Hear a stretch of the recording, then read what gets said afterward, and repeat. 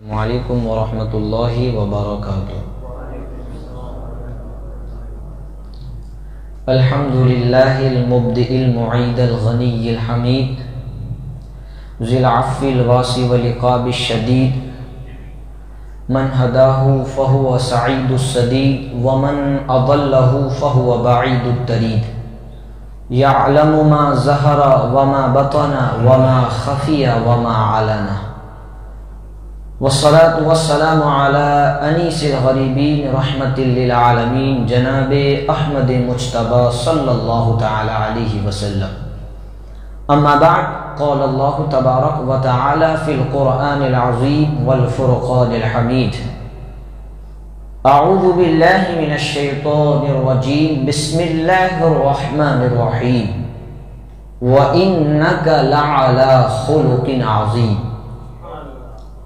सदक़ल्लाज़ीम आइए सबसे पहले इंतहाई अदब व अहतराम के साथ अपनी और सारी कायनात के मरकज़ अकीदत, हुजूर मोहसिन इंसानियत जान कायनात सरकार रहमत आलम सल्लल्लाहु अलैहि वसल्लम की मुक़द्दस बारगाह में अपनी गुलामी का सबूत पेश करते हुए दुरूद पाक पढ़ते हैं। पढ़िए बाबा से बुलंद, अल्लाहुम्मा सल्लि अला सैदिना व मौलाना मोहम्मद मादनिल जूद वल करम आलिहि व बारिक वसल्लम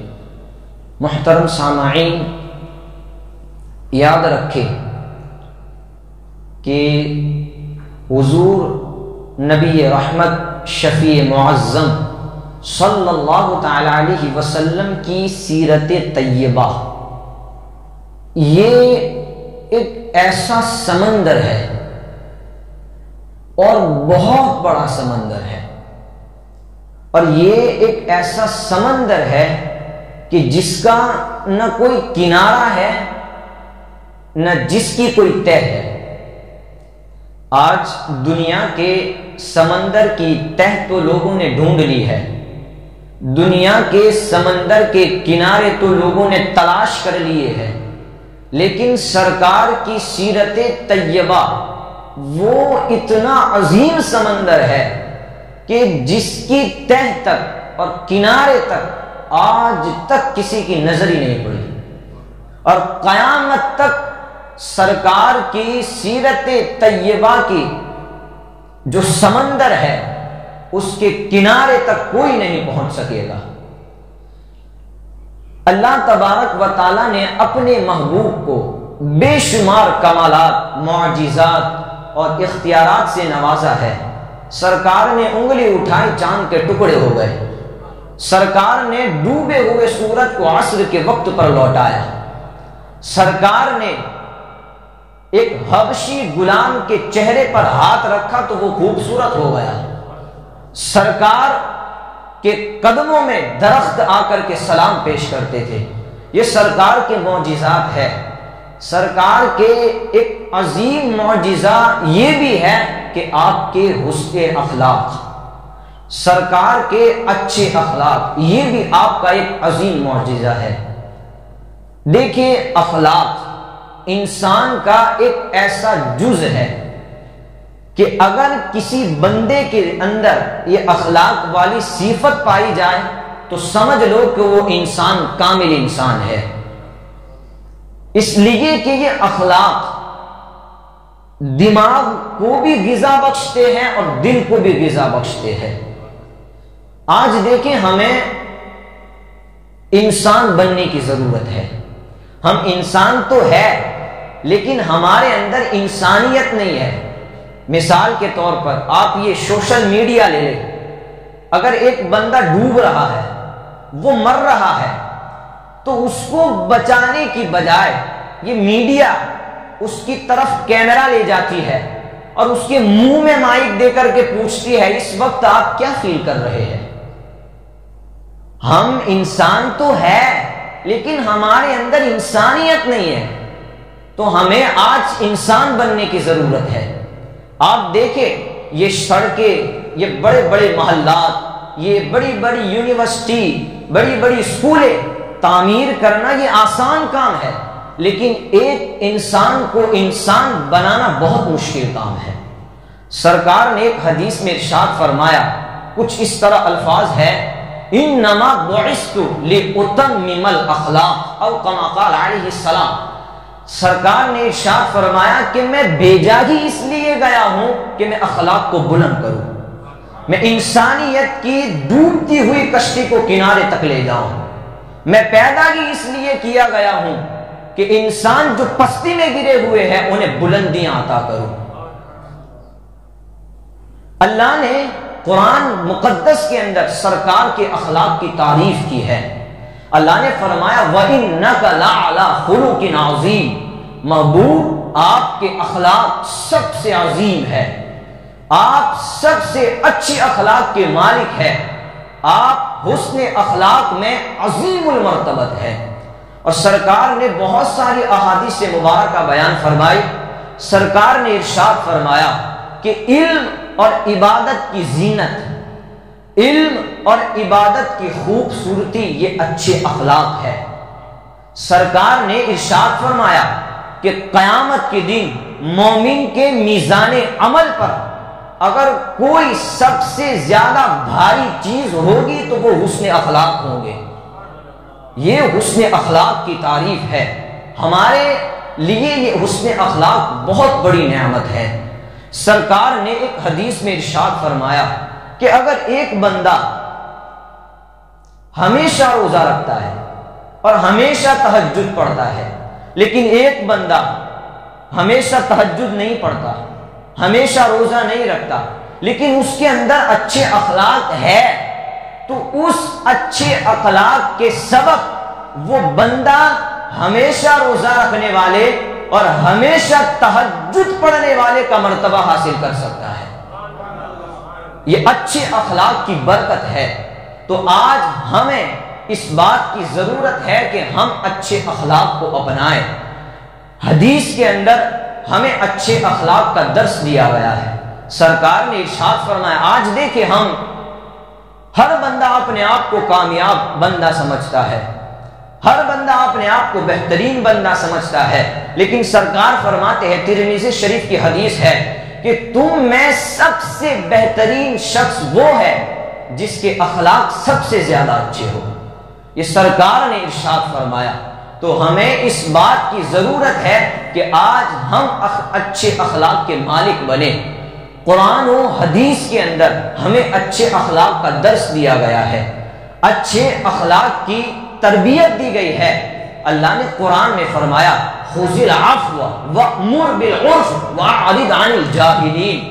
कबूल कीजिए माजरत को और हुक्म दीजिए नेक काम का और जाहिलों से एराज करे। सरकार ने जिबरील से पूछा, इस आयत का मतलब क्या है? तो हज़रत जबरील ने कहा, सरकार मैं नहीं जानता, मैं रब से पूछ करके आता हूँ। हज़रत जबरील गए, हुजूर की बारगाह में आए। हुजूर से कहा, ए अल्लाह के नबी, अल्लाह तबारक व ताला तुम्हें हुक्म दे रहा है कि ए महबूब, आप उन्हें माफ़ करे जो आप पर जुल्म करते हैं। जो आपको महरूम करते हैं, आप उन्हें अता करे। और जो आपके साथ दुश्मनी रखते हैं, आपसे कते ताल्लुक करते हैं, आप उनके साथ सुलह रहने करें। अल्लाह ने ये हुक्म कुरान में नाजिल फरमाया और सरकार ने इस आयत पर इस कदर अमल करके हमको बताया जिसकी कोई हद नहीं है। सरकार एक गजबे से वापस आ रहे थे। सरकार ने एक दरख्त पे तलवार लटकाई और उसके साय के अंदर सो गए। अब दुश्मन ने मौका पाकर के सरकार की तलवार को लिया और तलवार खोल करके सरकार की गर्दन मुबारक पर तान दी।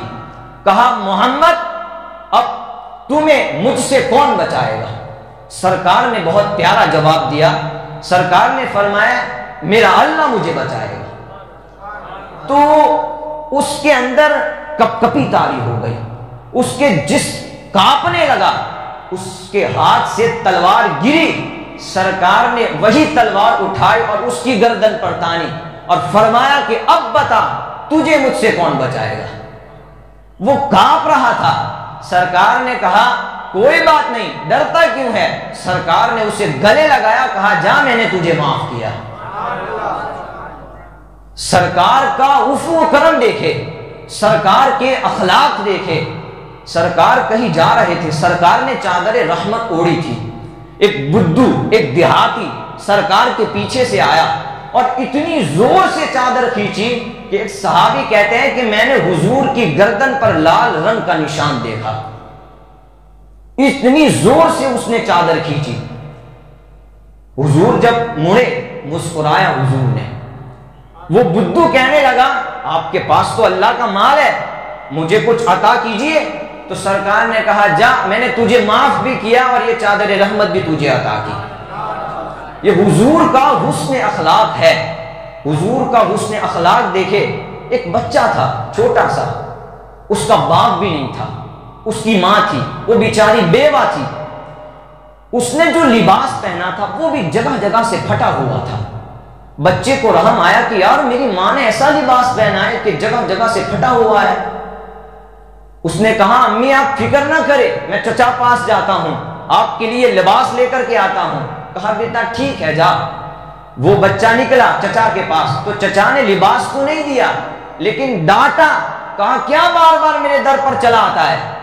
भीख मांगने के लिए, जा, कोई चीज़ नहीं है, यहाँ से चला जा।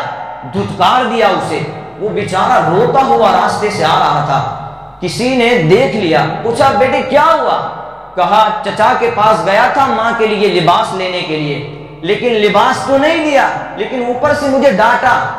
तो उस, सुने, उस शख्स ने कहा कि जा सहने हरम में चला जा, वहाँ मोहम्मद नाम एक शख्स होगा, अगर तू उसके पास जाएगा तो वो तुझे मना नहीं करेगा। मुझे यहाँ आला हज़रत का शेर याद आया। आला हज़रत ने फरमाया, ला वरबिल अर्श जिसको जो मिला उनसे मिला।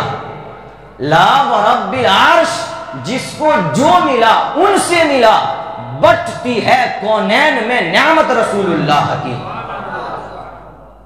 फिर फरमाया, मांगेंगे, मांगे जाएँगे और मुँह मांगी पाएँगे। आला हज़रत का इश्क देखे तखयुल देखे, मांगेंगे, हम तो मांगे जाएँगे और फिर मुँह मांगी पाएँगे। सरकार में न ला है, न हाजत अगर की है। मेरे सरकार की बारगाह वो बारगाह है कि अगर उस दरबार में कोई चला जाए, चाहे वो बादशाह हो, चाहे वो गरीब हो, चाहे वो फकीर हो, चाहे वो काफिर हो, चाहे वो मुसलमान हो, सरकार हर एक को नवाजते हैं। और सरकार ऐसा नवाजते हैं कि दोबारा उसको किसी के दर पर भीख मांगने की ज़रूरत नहीं होती। ये सरकार का उफो करम है, वो बच्चा रो रहा था तो उसने कहा, सिहानी हरम में चला जा। जा वहाँ मोहम्मद नाम एक शख्स होगा, वो तुझे धुतकारेगा नहीं। अम्मी पास आया, कहा, अम्मी चचा ने तो कपड़ा नहीं दिया। ऊपर से मुझे डांटा। कहा, एक शख्स मिला था, उसने कहा कि मोहम्मद के पास चला जा। तुम्हारे कहा, ना, उसके पास ना जाना। सुना है कि अगर कोई उससे बात करता है तो वो उसका धर्म छीन लेता है। उसके पास मत जाना। कहा, अम्मी, तुम्हारी हालत मुझसे देखी नहीं जाती। मैं आपके लिए लिबास लाऊँगा। मैं कसम खाता हूँ। मैं अपने बुतों का वफादार रहूँगा। मैं अपना धर्म नहीं छीनूँगा। अपना धर्म नहीं छोड़ूँगा। कहा, कसम खाता है? कहा हाँ मैं कसम खाता हूँ। कहा, जा। वो गया बच्चा। हुजूर साहबा के दरमियान बैठे थे। क्या मंजर था यार।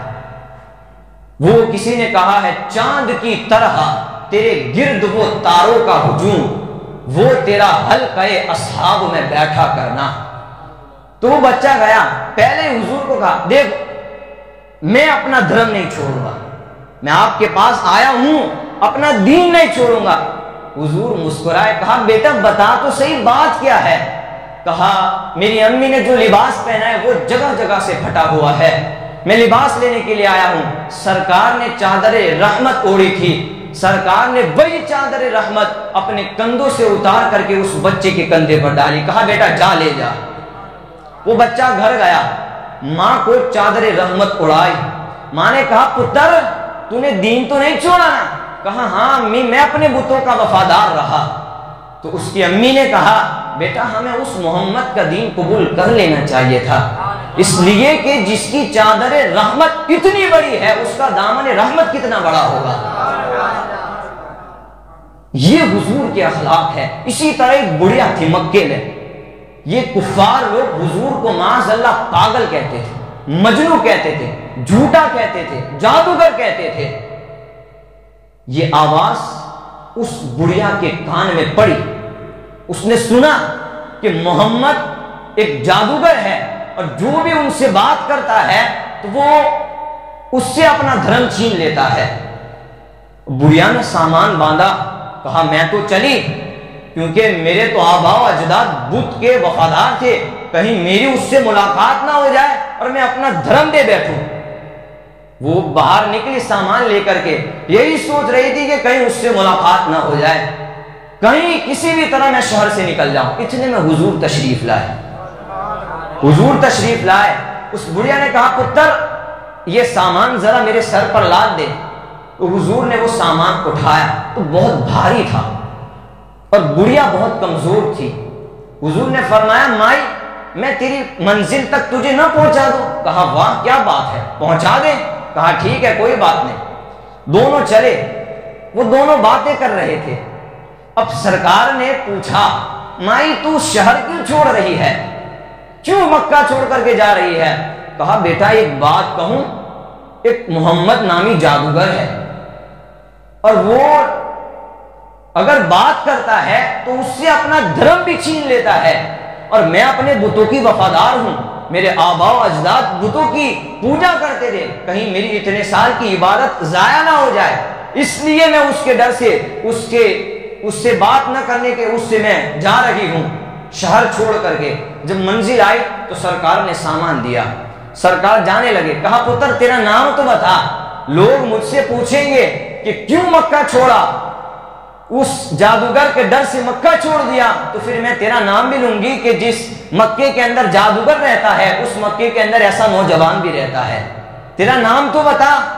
तो हुजूर ने जवाब दिया, ओ माई तू जिस जादूगर के डर से मक्का छोड़ करके आई थी, वही मोहम्मद तेरे सामने खड़ा है। कहा अच्छा आप मोहम्मद है? कहा हाँ मैं मोहम्मद हूँ। कहा, पुत्र, फिर तेरा जादू मुझ पर भी चल गया। आ, कलमा पढ़ा करके मुसलमान बना। यहाँ फिर आला हज़रत का शेर याद आया। आला हज़रत ने कहा, तेरे हुल्क को हक ने अजीम कहा। तेरे हुल्क को हक ने अजीम किया। तेरे खल्क को हक ने जमील किया। ए आका कोई तुझसा हुआ है ना होगा शाह? तेरे खाली को हुस्न अदा की कसम। आला हज़रत का शेर देखे, ये हुजूर के अखलाक है। आज हमें ज़रूरत इस बात की है कि हम हुजूर के अखलाक को अपनाएँ। हमें कोई गालियाँ दे तो हमें उसके जवाब में गालियाँ नहीं देनी है, बल्कि उसे माफ़ करना है। आप नहीं देखते सरकार ने जब इस्लाम की तबलीग शुरू की तो कुफार मक्का ने कितने जुल्म उठाए? हुजूर के रास्ते में कांटे बिछा देते थे। हुजूर नमाज़ पढ़ते तो वो मज़ाक उड़ाते थे। हुजूर जब सजरे में जाते थे तो उजड़ियाँ रखते थे। हुजूर जब ताइफ के मैदान में गए तो लोगों ने इतने पत्थर मारे कि हुजूर की नालैन मुबारक खून से भर गई। फिरिश्ता आया, महबूब, अल्लाह ने भेजा है। अगर बद दुआ करे तो इन दो पहाड़ों को मिला दो। एक चकना चूर हो जाएँगे। कहा, नहीं, मैं जहमत बन करके नहीं आया, रहमत बन करके आया हूँ। मैं इनकी नस्लों के अंदर ईमान देख रहा हूँ।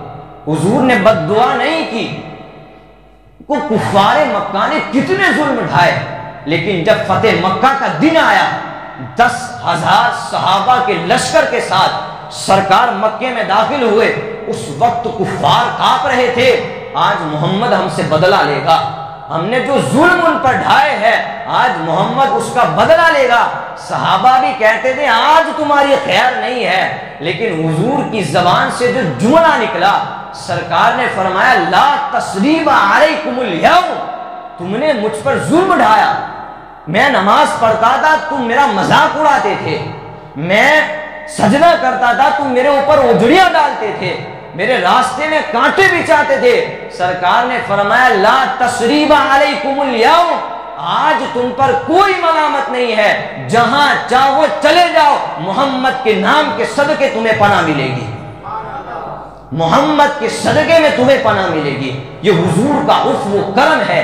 हुजूर ने हमें सिखाया है कि अगर कोई हमें गालियाँ दे तो हमें उसे गालियाँ नहीं देनी है, बल्कि उससे दुआएँ देनी है। उसे माफ़ करना है। आज हमें जरा सा भी अगर धक्का लग जाए तो हम फ़ौरन कहते हैं कि यार, इतना बड़ा शख्स खड़ा है, तुम्हें नज़र नहीं आता।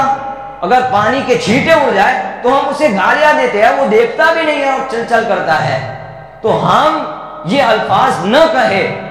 और मुसलमान की, सच्चे मुसलमान की निशानदगी ये है कि वो अपने नबी के नक्शे कदम पर चलता है। अपने नबी के नक्शे कदम पर चलता है। तो हम लोगों को माफ़ करें। लोगों को, लोगों के साथ मोहब्बत करे। हमारे बुजुर्गान दीन ने भी यही हमें पैगाम दिया है। एक बुज़ुर्ग है, हज़रत मालिक बिन दीनार रहीम ताला। एक शख्स उनको बहुत गालियाँ देता था। बहुत गालियाँ देता था। लेकिन मालिक बिन दीनार उसके घर रोज़ाना हलवा भेजते थे। तो किसी ने पूछा, ये क्या बात है? वो गालियाँ देता है, तुम हलवा भेजते हो? सुने, ये अल्फाज याद कर ले। हज़रत मालिक बिन दीनार ने फरमाया, उसके पास जो है, वो हमें भेज रहा है, हमारे पास जो है, वो हम उसे भेज रहे हैं। हज़रत इमाम गिजारी फरमाते हैं, एक बुज़ुर्ग थे, किसी ने दावत की उनकी, घर बुलाया, दस्तरखान बिछाया, कहा, बैठिए हज़रत। बुज़ुर्ग बैठे, फिर थोड़ी देर के बाद आया, कहा, खाना तो नहीं बना, घर चले जाइए। चले गए, कुछ भी नहीं कहा, दूसरी मरतबा बुलाया, दूसरी मरतबा भी ऐसा किया। तीन मरतबा उसने बुज़ुर्ग के साथ ऐसा किया, फिर चौथी मरतबा उसने माफ़ी मांगी कि, हुजूर, मैं तो आपका इम्तिहान ले रहा था। लेकिन उन्होंने कहा, मैं क्या हूँ? मेरी औकात क्या है? ये कोई कुत्ता भी करता है। अगर तुम उसे खाना दो तो वो आता है और उसे धुतकार दो तो वो चला जाता है। फिर वही बुज़ुर्ग रास्ते से गुजर रहे थे। अचानक किसी ने ऊपर से राख फेंकी। तो उन्होंने कुछ नहीं कहा, बस एक जुमला कहा। उन्होंने कहा, वाह जनाब वाह जनाब, शुक्र है राख बरसी, वरना मैं तो आग का मुस्तक था। इनके अखलाक देखे, आज ये किरदार हमारा नहीं है, आज हमें गालियाँ देते हैं। आज अगर हमें कोई तकलीफ़ पहुँचाए तो हम उससे बदला लेते हैं। आज हम कई रास्ते से गुजर रहे हो और ऊपर से कोई कचरा डाल दे तो जब तक हमें 10-20 गालियाँ उसे नहीं देते, हमारे कलेजे को ठंडक नहीं पहुँचती। तो हम ऐसा न करें। सरकार ने बहुत प्यारा दर्श हमें दिया है कि आप हुस्न अखलाक अपनाए। ये हुस्न अखलाक एक ऐसी चीज़ है कि बंदे को सातवें आसमान तक बुलंद कर देती है। तो हम हुस्न अखलाक से अपनाए और दूसरे लोगों के साथ सुलह रहमी करें। उनके साथ कतः ताल्लुक ना करे, मोहब्बत करे इतिहाद पैदा करे, आपस में मुतहद हो जाए। अल्लाह तबारक व ताला की बारगाह में दुआ है, अल्लाह कहने, सुनने से ज़्यादा हमको अमल की तोफ़ी कता फरमाए। सरकार के हुसन अखलाक का सदका हम गरीबों को नसीब फरमाए। वमा अलैना इल्लल अस्सलाम वरहमतुल्लाहि व या नबी सलाम अलैका या रसूल, सलाम अलैका। या हबीब, सलाम अलैका। सलावतुल्लाह अलैका। इतना करम शाहे उमम हो। खाली रूह से बदन गो शहर तैबा का कफन हो और मदीने में दफन हो। या नबी,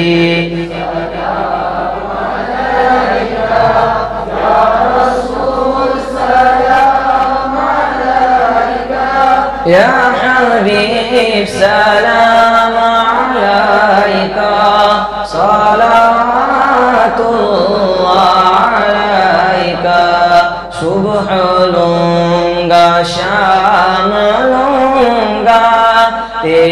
प्यारा नाम लूँगा। खबर से उठते ही आका, तेरा दामन थाम लूँगा। नबी या सलाम अलैका, या हबीब सलाम।